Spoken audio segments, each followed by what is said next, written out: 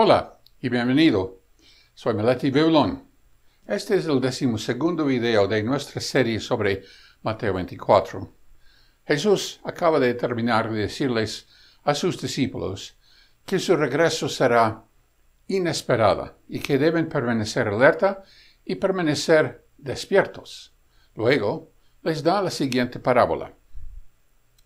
¿Quién es en realidad el esclavo fiel y prudente a quien su amo puso a cargo de los sirvientes de la casa para darles su alimento al tiempo debido? Feliz ese esclavo si su amo, cuando venga, lo encuentra haciendo eso. Les aseguro que lo pondrá a cargo de todos sus bienes. Pero, si ese esclavo resulta ser malo, y alguna vez dice en su corazón, mi amo está tardando, y se pone a golpear a sus compañeros, y a comer y, a comer y beber con los borrachos empedernidos, el amo de ese esclavo vendrá un día en que él no lo espera y a una hora que él no sabe, y le dará el peor de los castigos y lo pondrá con las hipócritas. Ahí es donde llorará y apretará los dientes. Mateo 24, 45 a 51, traducción del Nuevo Mundo de 2019. A la organización le gusta enfocarse solo en los primeros tres versículos, del 45 al 47. Pero, ¿cuáles son los elementos claves de esta parábola? Un maestro nombra a un esclavo para alimentar a sus domésticos o compañeros esclavos, mientras él está fuera. Cuando regresa, el amo o dueño o patrón determina si el esclavo ha sido bueno o malo. Si es fiel y prudente, el esclavo es recompensado. Si es malo y abusivo, el esclavo es castigado. El cuerpo gobernante de los testigos de Jehová no trata estas palabras como una parábola, sino como una profecía, con un cumplimiento muy específico. No estoy bromeando cuando digo específico. Pueden decirnos el año en que se cumplió esta profecía. Pueden nombrar hasta cada individuo que compone su esclavo fiel y prudente.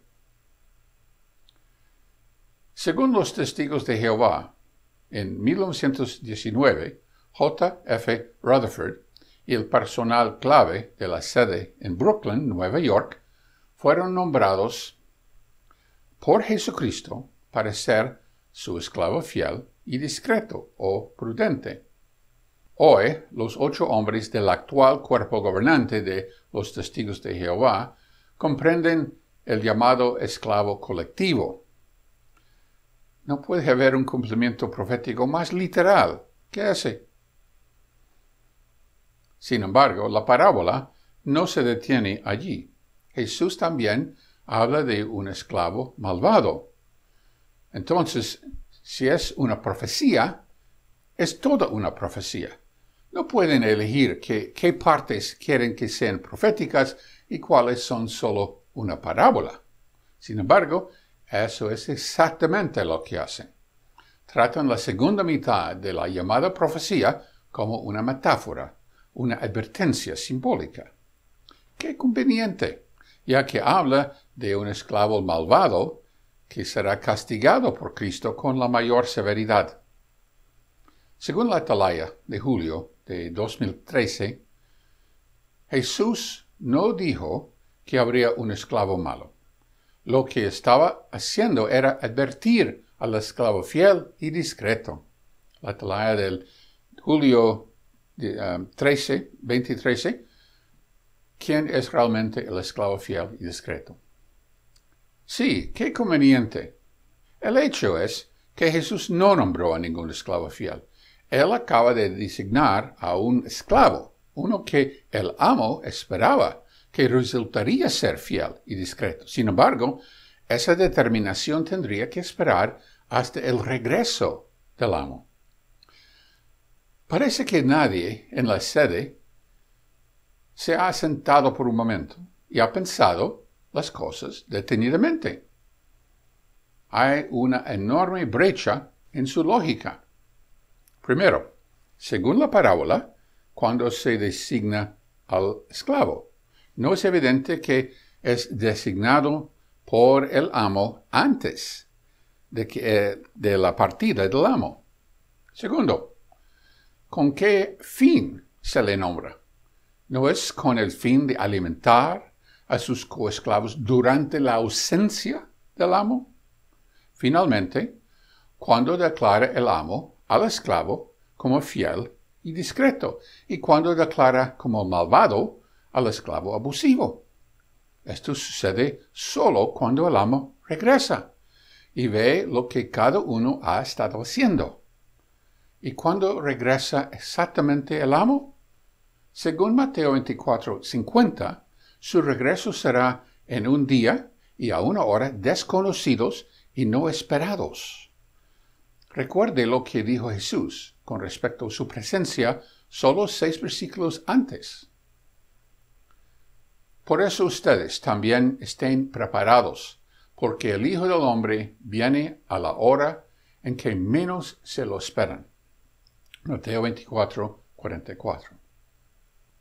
No puede haber ninguna duda de que en esta parábola el amo es Jesucristo. Él partió en el 33 era común para asegurar el poder real y regresará en su futuro presencia como rey conquistador. Ahora ve eh, la enorme brecha en la lógica del cuerpo gobernante. Afirman que la presencia de Cristo comenzó en 1914. Luego, cinco años después, en 1919, mientras él todavía está presente, él nombra a su esclavo fiel y discreto. Lo tienen al revés. La Biblia dice que el amo nombra al esclavo cuando se va, no cuando regresa. Pero el cuerpo gobernante dice que fueron nombrados cinco años después que Jesús regresó y comenzó su presencia. Parece que ni siquiera leyeron el relato. Hay otras fallas en esta presuntuosa cita de autoproclamación, pero son incidentales a este gran abismo en la teología de los testigos. Lo triste es que incluso cuando se le señala a muchos testigos que siguen leales a la organización, se niegan a verlo.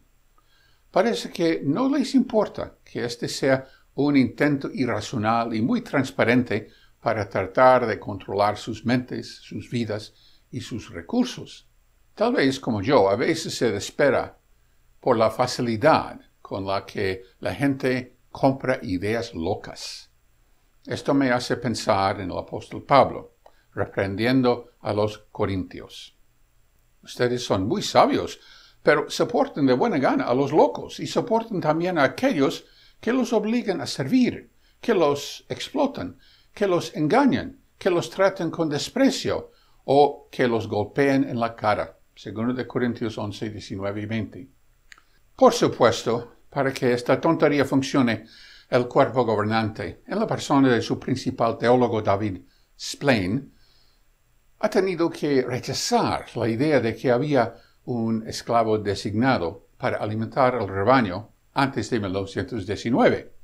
En un video de nueve minutos en jw.org, Splain, sin usar una sola escritura, intenta explicar cómo nuestro amado Rey Jesús dejaría a sus discípulos sin comida sin nadie que los alimente durante su ausencia en los últimos 1900 años. En serio, ¿cómo puede un maestro cristiano tratar de revocar una doctrina bíblica sin siquiera usar la Biblia? Para ver un enlace al video de Splain, consulte la descripción de este video. Bueno, el tiempo de tal interpretación estúpida que deshonra a Dios ha pasado. Hagamos un análisis exegético de la parábola para ver si podemos determinar lo que significa. Los dos principales protagonistas de la parábola son el amo que, sin duda alguna, todos identificamos como el Señor Jesús, y un esclavo. La Biblia solo se refiere a los discípulos como esclavos del Señor. Sin embargo, estamos hablando de un solo discípulo o un pequeño grupo de discípulos, como los sostiene el cuerpo gobernante, o todos los discípulos a través de la historia. Para responder a eso, veamos el contexto inmediato. Una pista es la recompensa recibida por el esclavo que se encuentra fiel y sabio o prudente. Les aseguro que lo pondrá a cargo de todos sus bienes. Mateo 24, 47. La traducción en lenguaje actual lo vierte, les aseguro que el dueño lo pondrá a administrar todas sus posesiones. Esto habla de la promesa hecha a los hijos de Dios de convertirse en reyes y sacerdotes para gobernar con Cristo. Apocalipsis 5.10. Por eso, nadie debe sentirse orgulloso de lo que es propio de los hombres, pues todas las cosas son de ustedes. Pablo, Apolos, Cifas, el mundo, la vida, la, la muerte, el presente y el futuro todo es de ustedes, y ustedes son de Cristo, y Cristo es de Dios. 1 Corintios 3, 21 23. Esta recompensa, este nombramiento sobre todas las pertinencias de Cristo, no se da exclusivamente a los hombres, sino también a las mujeres fieles. Pues por la fe en Cristo Jesús todos ustedes son hijos de Dios, ya que al unirse al Cristo en el bautismo han quedado eh, revestidos de Cristo. Ya no importa el ser judío o griego, esclavo o libre, hombre o mujer, porque unidos a Cristo Jesús, todos ustedes son uno solo. Y si son de Cristo, entonces son descendientes de Abraham y herederos de las promesas que Dios le hizo. Galatas 3, 26 al 29. Todos los hijos de Dios, tanto hombres como mujeres, que obtienen el premio, son nombrados reyes y sacerdotes. Evidentemente, a eso se refiere la parábola cuando dice que son nombrados sobre todas las pertenencias del amo. Por lo tanto, la asignación como esclavo designado para alimentar no es exclusiva del macho de la especie. Cuando los testigos de Jehová tratan esto como una profecía cuyo cumplimiento comienza en 1919, introducen otra ruptura en su lógica. Como los doce apóstoles no estaban presentes en 1919, no pueden ser nombrados sobre todas las pertenencias de Cristo, ya que no son parte del esclavo. Sin embargo, los hombres del calibre de David Splain, Stephen Lett y Anthony Morris sí son nombrados. ¿A usted le parece eso lógico? ¿Creíble? Eso parece ser más que suficiente para convencernos de que el término esclavo se refiere a más de una persona o un comité. Sin embargo, aún hay más evidencia. En la siguiente parábola, Jesús habla de la llegada de un novio. Al igual que con la parábola del esclavo fiel y discreto, tenemos al protagonista principal ausente, pero regresando en un momento inesperado. Entonces, esta es una parábola acerca de la presencia de Cristo. Cinco de las vírgenes eran sabias y cinco eran necias. Cuando leímos esta parábola de Mateo 25, 1 al 12, ¿cree usted que Jesús está hablando de una pequeña clase de personas que son sabias y otro pequeño grupo que son tontos? ¿O ve esto como una lección moral que se aplica a todos los cristianos? La última es la conclusión obvia, ¿no es así? Eso se vuelve aún más obvio cuando concluye la palabra retirando su advertencia sobre estar alerta. Manténganse ustedes despiertos, añadió Jesús, porque no saben ni el día ni la hora. Mateo 25, 13. Esto permite al Señor Jesús pasar directamente a su próxima parábola que comienza Sucederá también con el reino de los cielos como con un hombre que, estando a punto de irse a otro país, llamó a sus empleados y les encargó que le cuidaran su dinero. Por tercera vez, tenemos un escenario en que el amo o patrón estará ausente, pero volverá. Por segunda vez se mencionan esclavos o empleados. Tres esclavos, para ser precisos, cada uno con una cantidad diferente de dinero para trabajar y hacer crecer la inversión. Al igual que con los diez vírgenes, ¿cree usted que estos tres esclavos representan tres individuos o incluso tres pequeños grupos diferentes de individuos?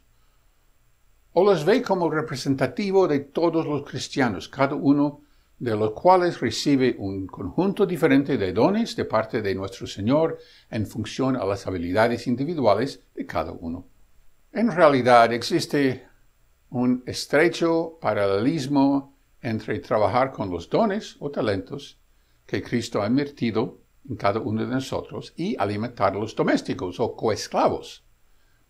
Pedro nos dice, según el don que cada uno haya recibido, úsenlo para servirse unos a otros como buenos mayordomos de la bondad inmerecida de Dios que se expresa de diversas maneras. Primero de Pedro 4.10, traducción del Nuevo Mundo.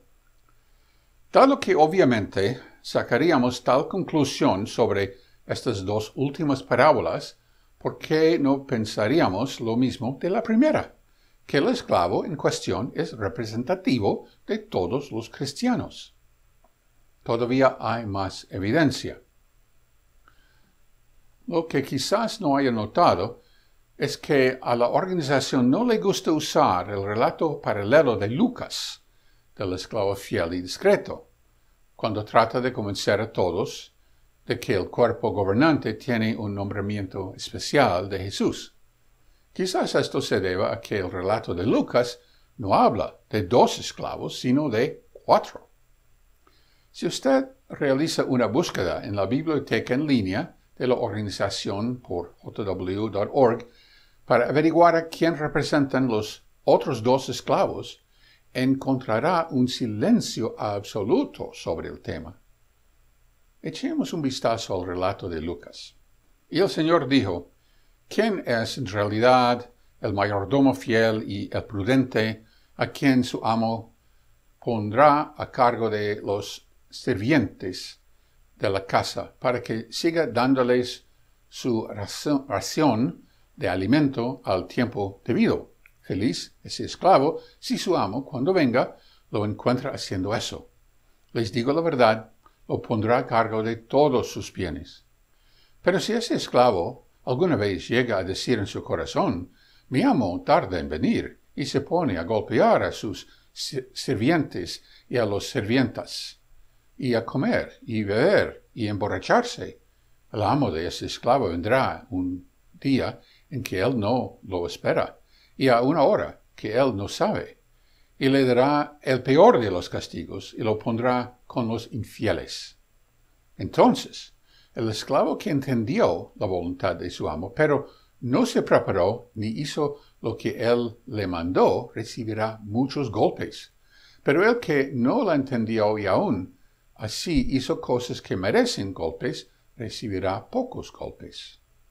Realmente a quien se le dio mucho, se le exigirá mucho, y a quien se le encargó mucho, se le exigirá más de lo normal. Lucas 12, 42 al 48. Lucas menciona a cuatro esclavos, pero la determinación del tipo de esclavo en el que se convierte cada uno no se conoce en el momento de su designación, sino hasta el momento del regreso del Señor. A su regreso, el Señor encontrará un esclavo al que el Señor juzga como fiel y prudente, un esclavo al que el Señor expulsa por comportarse malvado y sin fe.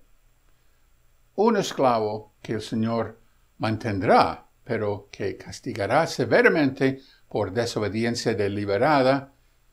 Un esclavo que el Señor mantendrá, pero que castigará levemente por desobediencia debido a la ignorancia. Tenga en cuenta que solo habla de nombrar un solo esclavo y cuando regresa solo habla de un esclavo para cada uno de los cuatro tipos. Obviamente, un solo esclavo no puede transformarse en cuatro, pero un solo esclavo puede representar a todos los discípulos, así como los diez vírgenes y los tres esclavos que obtienen el talento representan a todos sus discípulos. Finalmente, esa parábola viene en respuesta a esa pregunta de Pedro. Pedro le preguntó, Señor, ¿dijiste esta parábola solamente para nosotros o, para todos? Lucas 12:41. Pedro quiere saber si las palabras de Jesús se aplican solo a los discípulos presentes en este momento o a todos. Aquí solo hay dos opciones.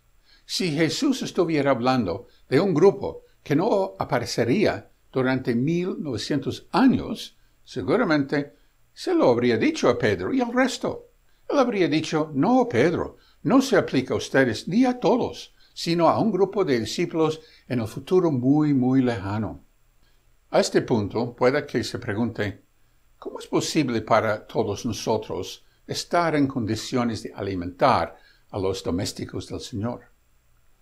Podría mirarme a mí como alguien que alimenta a otros, pero a menudo soy yo quien es alimentado, y no solo con conocimiento. Hay momentos en que los más fuertes de nosotros flaqueamos, momentos en que cada cual necesita alivio, momentos cuando estamos deprimidos y necesitamos ser alentados. A veces nos sentimos emocionalmente o físicamente débiles y necesitamos ser sostenidos. O nos sentimos espiritualmente exhaustos y necesitamos ser reenergizados. Nadie hace todo la alimentación. Todos participamos en alimentar a otros y todos somos alimentados. Al tratar de apoyar su alocada idea de que solo el cuerpo gobernante es el esclavo fiel y discreto encargado de alimentar a todos los demás, este selecto grupo utilizó el relato de Mateo 14, donde Jesús alimenta a la multitud con dos peces y cinco piezas de pan. El artículo se llamaba Alimentando a muchos a través de las manos de unos pocos. El texto temático fue Entonces les mandó a las multitudes que se sentaran en la hierba, luego tomó los cinco panes y los dos pescados, y mirando hacia el cielo hizo una oración, y después de partir los panes, se los dio a los discípulos, a quienes a su vez se lo dieron a las multitudes. Mateo 14 19. Ahora sabemos que los discípulos de Jesús incluían mujeres, mujeres que ministraban o alimentaban a nuestro Señor y sus discípulos con sus pertenencias. Después de esto, Jesús anduvo por muchos pueblos y aldeas, anunciando la buena noticia del reino de Dios. Los doce apóstoles lo acompañaban, como también algunas mujeres que él había curado de espíritus malignos y enfermedades. Entre ellas iba María, la llamada Magdalena, de la que había salido siete demonios. También Juana, esposa de Cusa, el que era administrador de Herodes, y Susana, y muchas otras que los ayudaban con lo que tenían. Lucas 8.1.3. Estoy bastante seguro de que el cuerpo gobernante no quiere que consideremos la probabilidad de que algunos de los pocos que alimentaban a muchos fueran mujeres. Eso difícilmente respalda el uso de este relato para justificar el papel asumido como alimentadores del rebaño. En cualquier caso, su ilustración sirve para comprender cómo funciona el esclavo fiel y discreto, simplemente no como lo pretendía el cuerpo gobernante.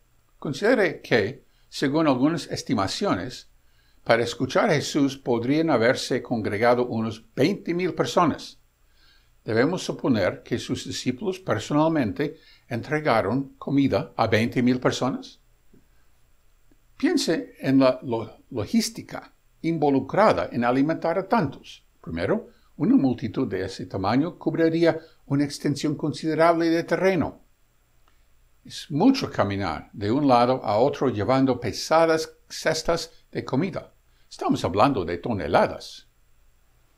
Para darnos una idea de la cantidad de comida involucrada para alimentar a una multitud de tales dimensiones, una persona promedio come aproximadamente de 250 a 300 gramos de alimento individual.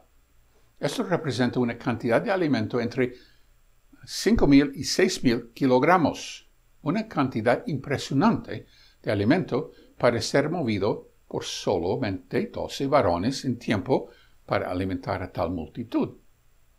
Debemos suponer que un pequeño número de discípulos llevó toda esa comida a toda esa distancia y se le entregó a cada individuo. ¿No tendría más sentido para ellos llevar una canasta y llevarla a un grupo y dejar la canasta con alguien en ese grupo que se encargaría de destruirla? De hecho, no habría forma de alimentar a tanta gente en un espacio de tiempo relativamente corto sin delegar la carga de trabajo y compartirla entre muchos. De hecho, esta es una muy buena ilustración de cómo funciona el esclavo fiel y discreto. Jesús suple la comida, nosotros no. Nuestra función es llevarlo y distribuirlo.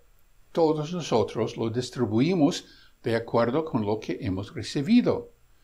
Esto me recuerda la parábola de los talentos que, como recordarán, fue presentada en el mismo contexto que la parábola del esclavo fiel.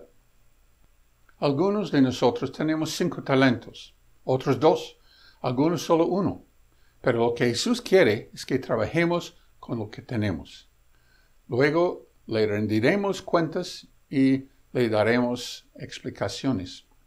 Esta tontería de David Splain de que no hubo un esclavo fiel antes de 1919 es irritante. El pensar que ellos tienen de que los cristianos se traigan tal estupidez es francamente insultante. Esta interpretación insulta la mente de cualquier cristiano. Recuerde, en la parábola, el amo designa al esclavo justo antes de irse. Si consideramos el Evangelio de Juan, capítulo 21, encontramos que los discípulos habían estado pescando y no habían capturado nada en toda la noche. Al amanecer, Jesús, resucitado, aparece en la orilla y no se dan cuenta de que es Él. Él les dice que tiren la red al, derecho, al lado derecho del bote y cuando lo hacen se llena con tantos peces que no pueden jalarla a bordo. Pedro se da cuenta de que es el Señor y se tira al agua para nadar hasta la orilla.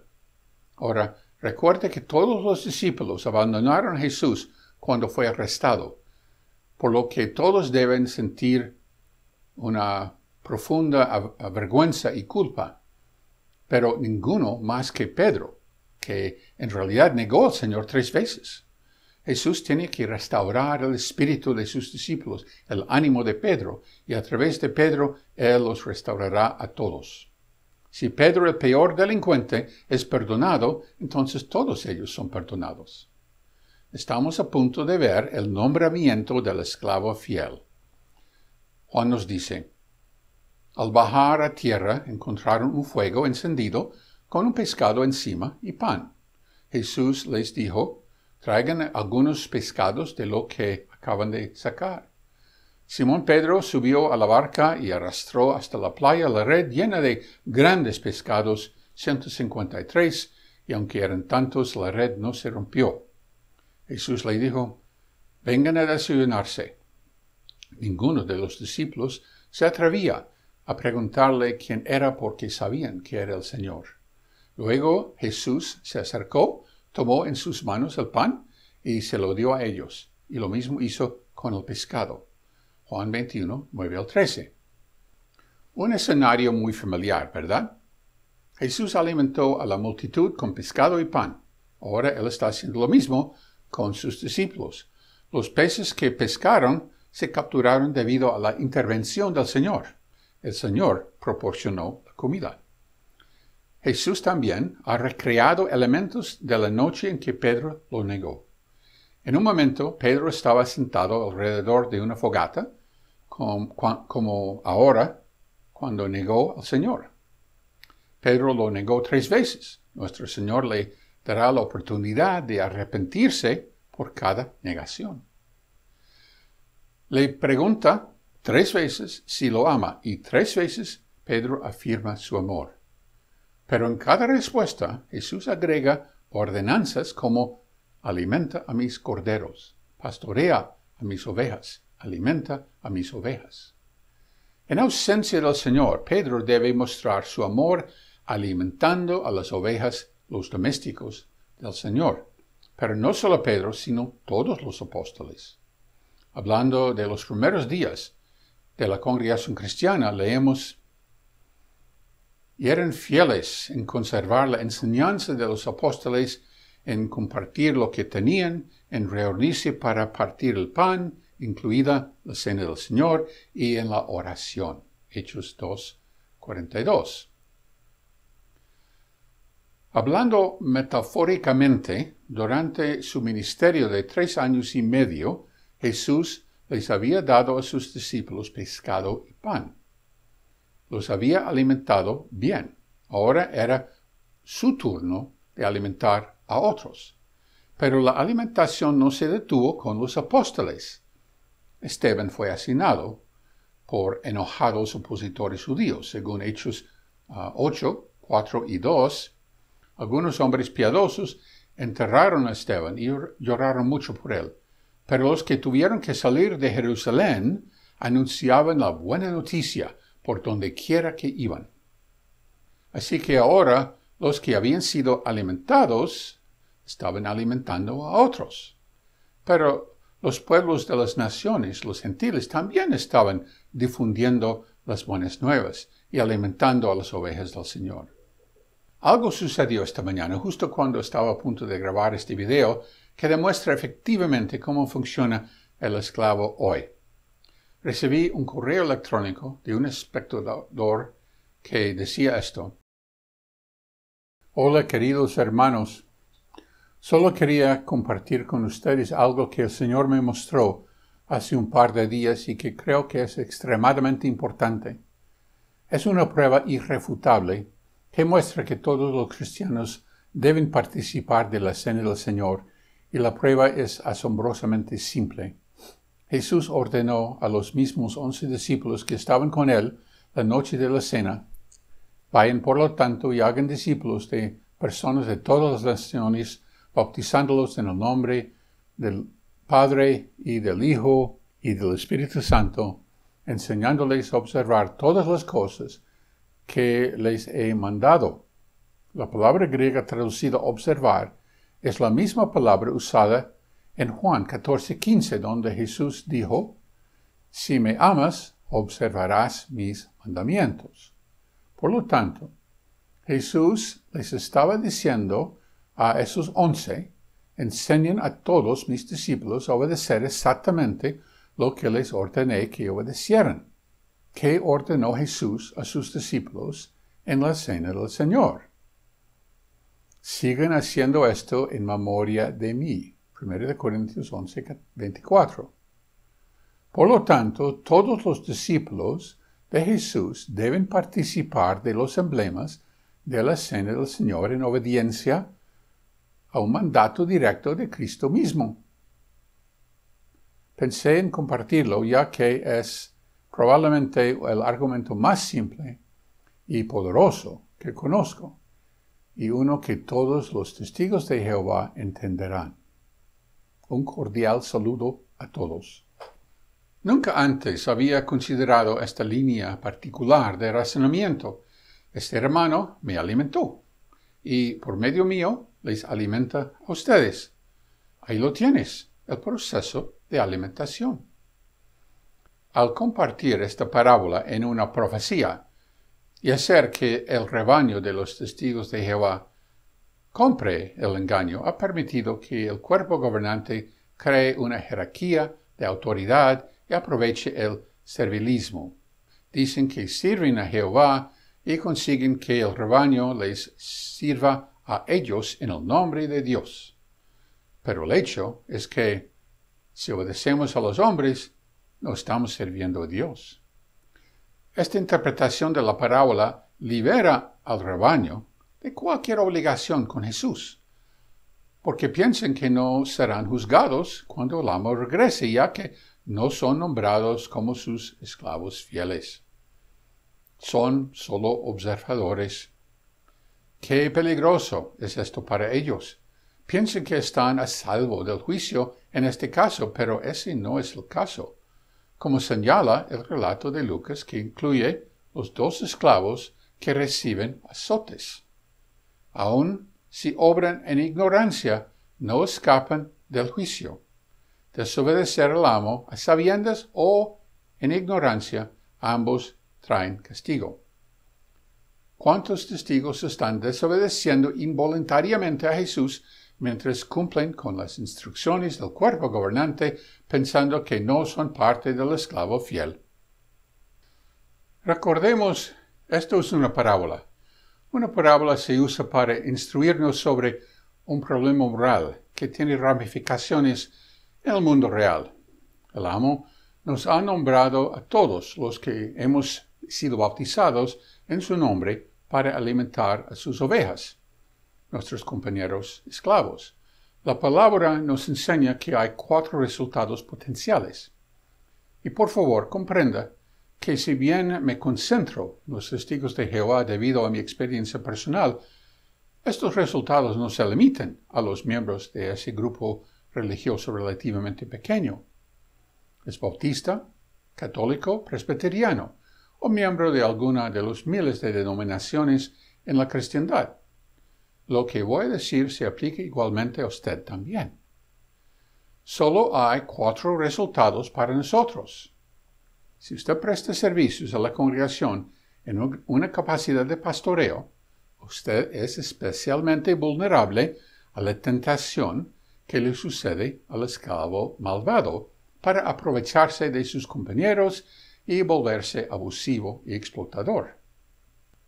Si es así, Jesús le castigará con la mayor severidad y le echará entre los que no tienen fe. Está siguiendo a hombres en su iglesia o congregación o salón del reino e ignorando los mandamientos de Dios en la Biblia, tal vez sin saberlo. Muchos testigos de Jehová responden al desafío ¿a quién obedecerías, el cuerpo gobernante o Jesucristo? con una sólida afirmación de apoyo al cuerpo gobernante. Eso indica que están desobedeciendo a sabiendas al Señor. Muchos golpes correctivos aguardan tal desobediencia descarada. Pero luego tenemos lo que podría decirse es la mayoría contentos de revolcarse en falso consuelo, pensando que al obedecer a su sacerdote, obispo, ministro o anciano de la congregación están complaciendo a Dios. Ellos desobedecen sin darse cuenta. Son disciplinados con unos pocos golpes. ¿Quisiera cualquiera de nosotros sufrir alguno de esos tres resultados? ¿No preferiríamos todos encontrar favor a los ojos del Señor y ser nombrados sobre todas sus pertenencias? Entonces, ¿qué podemos sacar de la parábola del esclavo fiel y discreto, la parábola de los diez vírgenes y la parábola de los talentos? En cada caso, los esclavos del Señor, usted y yo, tenemos un trabajo particular que hacer.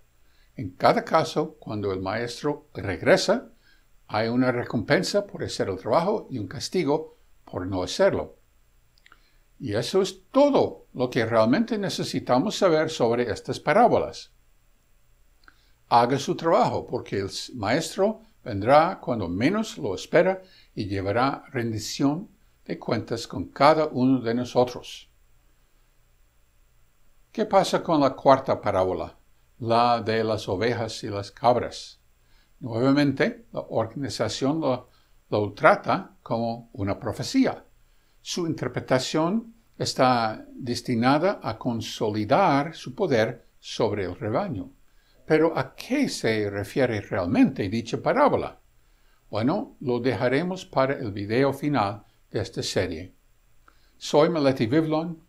Le agradezco mucho por ver esos videos. Suscríbase si desea recibir notificaciones de futuros videos.